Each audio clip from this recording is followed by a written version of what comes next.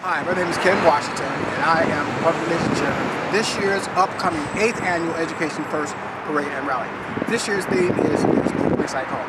And I'm here today with Mr. Tom Boyd here at A&S Kinard of York. A&S Kinard is a,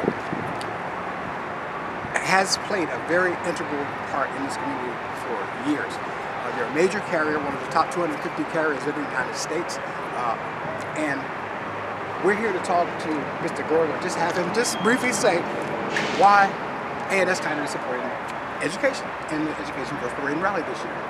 How do you feel about that, uh, Tom? Well, I feel that uh, education is it's integral to any community, and having quality education Yes, it is. is very important. And having A&S Kinard be a part of that is, is, is just how is what we do.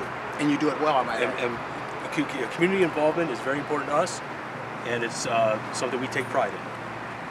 Great, great. And I look around here and I can see that there, as I walk around and look, I see it. There are many people here that uh, definitely display exactly what you said. Look, I'm not going to hold you up. I know you guys here are busy. Thank you for taking the time. Thank you, sir. And we're going to see you at the parade. And by the way, we're going to have a corporate table at the parade, aren't we? And I will have a corporate table. I'll be there with, with you. Thank you, Tom. Okay, thank you.